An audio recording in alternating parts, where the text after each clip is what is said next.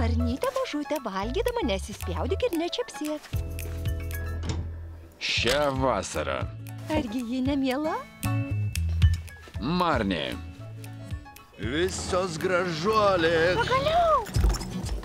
O tu kas tokia? Kartu su kietais kaimo vaikiais. Manęs čia nebuvo. Žvėris ne mašina. Brutuolių kiemsargių Elvių. Skaičiuoju iki trijų. Arba dingsi nuo mano traktoriaus, arba tau šakės. Moki skaičiuoti iki trijų.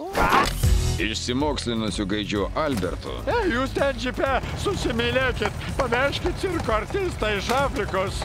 O, rupužė. Taps tikrais superherojais. Aš esu specialioji agentė Marnė ir tyriu šitos apiplėšimus. Paimsi mus kartu? Čiagi tie pavogti paveikslai, kurių ieškau. Ką čia dirbi? Aš netyčia. Varom išniau. Ai, nevaryk taip. Pats nevaryk. Marnė? Jėtenas virš galvos. Ir kas nutiko mano Marniai? Gal galit mane apkabinti? Aš neturiu rankų. O man skauda galva.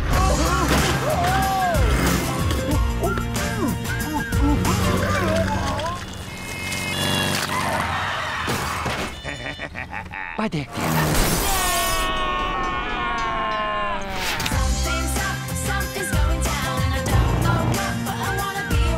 Vaikas, Elvi. hands up. Kokia tu specialioji agentė? Tu tik vaila navų katytė, prisižiūrėjusi per daug serialų. Vištienos sriuba mūsų šeimininkui. Savanorių bus.